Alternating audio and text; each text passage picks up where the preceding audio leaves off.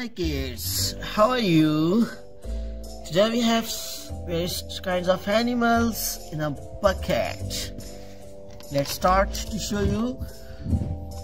This is uh, a very beautiful sheep. Yes, this is an horse. Yes, horse.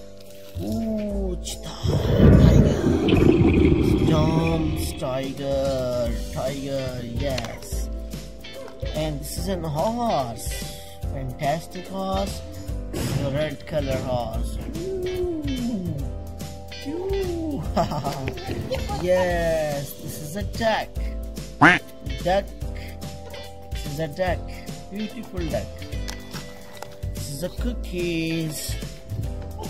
Yes. Do you like this? So very fantastic. Yes, fantastic cookies. Yes, yes, yes, yes. This is a cow. Yes, you do listen the sounds of cookies? Yeah, this is a duck. A beautiful duck.